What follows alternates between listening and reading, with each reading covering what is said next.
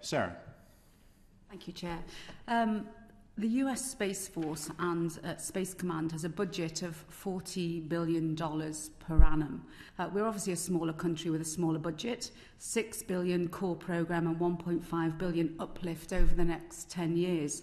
So we will need to rely on our partners, mainly, namely the USA. So how do we keep earning a seat at the table?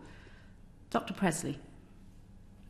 Um, yeah, a very good point, and, and I think the, uh, the seat at the table has been earned over uh, a long number of years with our uh, close relationship, particularly with the US, who is our, our yes, singular most important ally in, in space and in space relationships.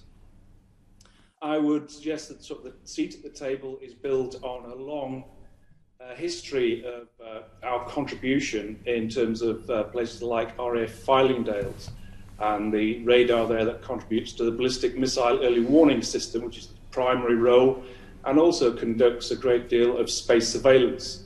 On top of that, we've had a lot of people on exchange posts with the Combined Space Operations Center, uh, 18 Space Control Center at Vandenberg, so that that linking of the two has been very extensive and has built that relationship. So I think the, the seat at the table is there. Um, less my area of expertise, but I'm aware that there's very close relationships in the intelligence and security communities as well. And I think that's given us access, which has been a great boon to UK over the years. But perhaps if we want to look at more nationally assured sovereign capability, we need to look at where we can contribute that is, doesn't replicate that, that contribution we get from the US, but adds to it by filling some of the gaps in there looking at some perhaps niche capabilities we can actually fill. The space surveillance capabilities, for example, that the US offer is uh, world leading. Uh, we couldn't hope to match that at all. But equally, we do have a, quite a bit of expertise built up through uh, our experience at Fylingdales and the Space Operations Centre down at High Wycombe, uh, with commercial support from uh, companies such as Serco. So we have a, a great body of expertise there, and that's number one priority, which uh, UK Space Director has mentioned on a number of occasions, which is space domain awareness.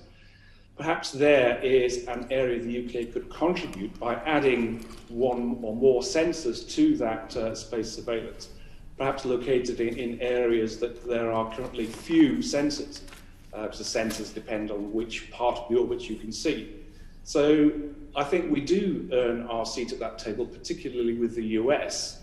Um, but I think there are still niche areas where we can build on in space surveillance is one particular example where we could contribute to that already in, uh, very good capability. Looking perhaps closer to home and our European allies, I think because we have been so privileged in the access we've had to the US capability, we perhaps haven't developed our sovereign capabilities quite so much, whereas the European allies do have uh, small little contributions they make into NATO. So therefore, I think as we look at uh, our position, having that uh, UK sovereign capability is something we could look for. I've mentioned space surveillance as perhaps one, perhaps a broader look and a horizon scanning to the future to see where those other niches might be uh, should be something that uh, the UK could look at to add to the contribution we make to that seat at the space table. Thank you. Dr. Hilborne. Uh, no, entirely agreed. I think it's it tends to be the, the main strapline is that alliance with the United States. For that's true of the UK, it's true of Canada, Japan. You see that in all their space policies. That's particularly important. And so it is finding these niche areas where we can contribute um, where the US might be slightly light on uh, certain specific capabilities or, or, areas. So, just as we've said, Southern Hemisphere sensors for space situational awareness um, would also be extremely useful to the US. Um, particular constellations that might be able to do certain uh, things, such as the Canadian Sapphire satellite, which is space situational awareness from space. So, there's, there's a, a lot of innovation in the UK. There's more space startups in the UK than any other nation after the United States, or possibly China.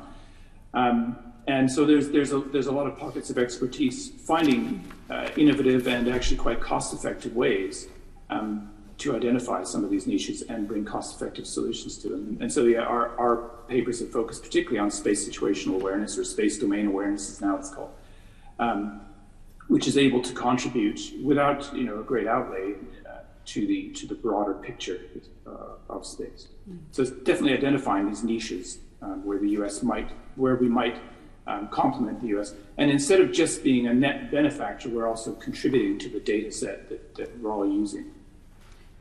So, you know, space is obviously bottomless, as is the finance and money we can throw at it. But it, it's sort of my understanding that the government needs to consider the UK sovereign requirements and, and capacity, uh, as Dr. Presley said, uh, UK prosperity agenda, and our international partners. Um, and I think in the middle of this is that term they call space proposition, which you probably know more about than myself. So, how do we capitalise really on our allies and their capabilities, uh, particularly thinking about the Five Eyes? Dr. I Presley. think uh, I refer back to what I mentioned earlier.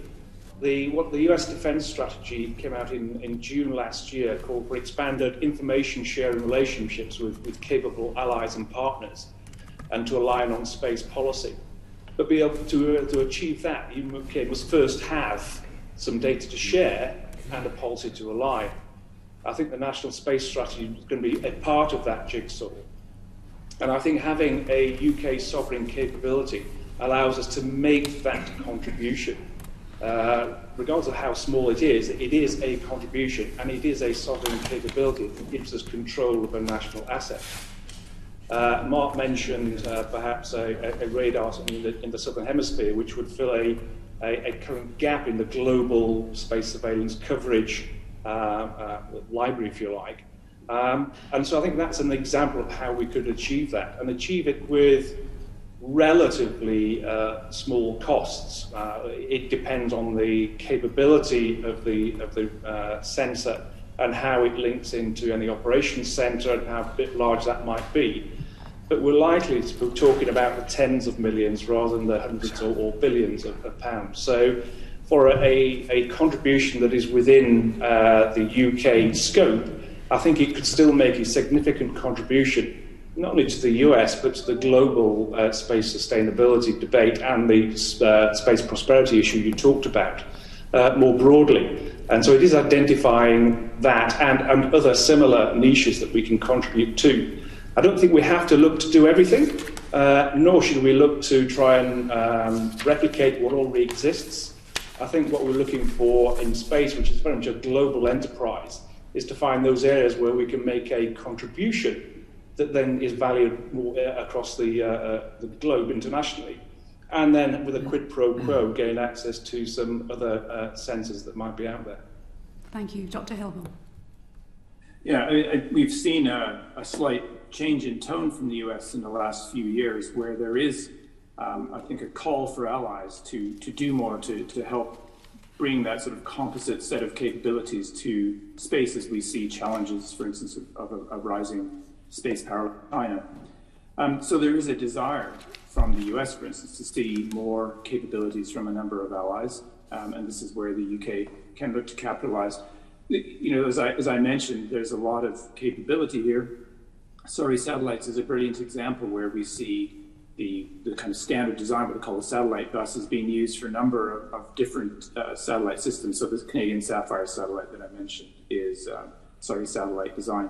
So there's a lot of capability here that we can capitalize on. That's industrial, that's thinking about um, some of the other elements like uh, big data and analytics and, and, elements like that. So there's, it's not just the hardware, um, there's a number of elements that we can build in um, where there is a lot of experience um, and capability in the UK. Thank you.